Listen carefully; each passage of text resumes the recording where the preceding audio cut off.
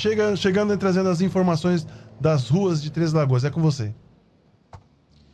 Pois é, Israel, a nossa equipe estava aqui, está, está aqui, né, é, aqui pertinho aqui da, da BR-262, e a gente se deparou aqui com um rapaz caindo de bicicleta e chamou muito atenção.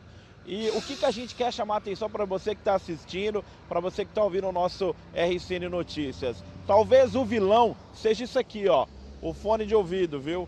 A gente se deparou com muitas pessoas indo para a escola, indo para a faculdade, né, com a bicicleta, com o fone de ouvido. Esse ciclista que estava passando por aqui acabou perdendo o controle, né, caiu com a bicicleta, quase bateu na sarjeta. Foi por pouco mesmo, a nossa equipe acabou socorrendo ele. Foi só, né, sofreu alguns arranhões, mas muito cuidado, viu? Você que anda de bicicleta, a pessoa que anda com a bicicleta elétrica, isso aqui é um vilão, viu? Isso aqui tira a atenção de todo mundo.